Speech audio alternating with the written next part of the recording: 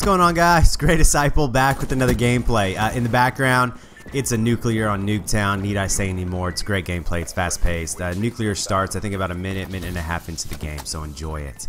Back on my 1500 subscriber um, video, I got a question from Truth's Chaos. Tell me a funny story. Alright, here you go. I think it's funny. but, okay, so I think I was around 13 years old and I had a buddy staying the night. His name is Kenneth. And uh, he's actually a lieutenant in the Air Force now. I, I don't speak with him anymore. We, kind of lost touch. But, so he stayed the night at my house and, you know, my parents are asleep. I think my brothers, uh, um, they, they were staying away. My sister was asleep. We weren't tired, all right? and so we went down to my garage. I don't know why we went into the garage. We had a two-story house. I went to the garage and we found a roll of duct tape.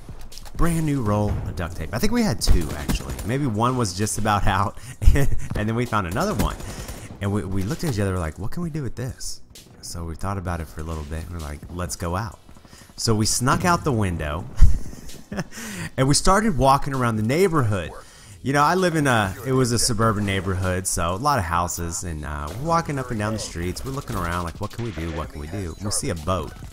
Like, okay, alright. So, some some poor schmuck had parked his boat out in his driveway, and so we went over to it with the duct tape, and we just go ahead and we wrapped the entire motor with duct tape. The propeller and everything. And, but we still had a lot of duct tape left over, so we're like, okay, alright, let's keep going. Walking a couple streets over, and we see a car. Did look like every other car we had just passed, but for some reason he said stand on this side, I'll stand on that side, and we will wrap this car in duct tape.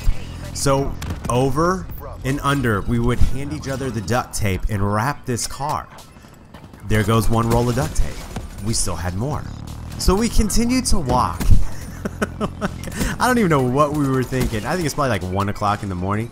We continued to walk to our junior high school. And we get there, and most of the lights in the junior high school are off. We see a couple of them are still on, and there was this intersection with a, with four stop signs, right? And we still had this whole roll of duct tape. And uh, we, we kind of looked at each other. I think we both kind of had the same idea. Wasn't really any traffic, anybody doing anything. And uh, well, what we did was we went from stop sign to stop sign on one side and we wrapped duct tape directly across the street. Okay, we're kind of created like a barrier, but it was really hard to see, right? And um, then we went to go hide in the bushes, and we laughed so hard that night because we would watch as these cars would pull up to the stop sign, and they would see this duct tape, and they would pause and then they would back up and they would go back the way that they came. All right.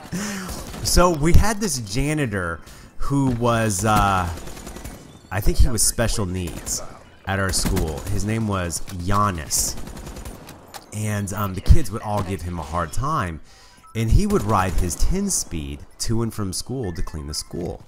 We didn't realize that Giannis on a Saturday was cleaning the school. And he comes out of his out of the school on his bike just barreling towards this street, all right? He hits that duct tape and he does a backflip. And oh my gosh, I don't think to this day I have laughed that hard in my life. Now, granted, it was awful what we did, all right? We had no intention of hurting this guy, and he wasn't hurt. He just got up cursing, got back on his bike, and kept going. So confused as to what. to, as to what happened. I swear, to this day, I've never laughed so hard. So the next day, Sunday morning, we're getting up, ready to go for church. My parents are driving through the neighborhood. We see the guy outside yelling, taking this duct tape off of his motor to his boat. And then two streets over, some lady out there with like a scrubber and a putty knife trying to get the duct tape off her car that we had wrapped. Oh my goodness. Oh my goodness. I hope you guys liked it.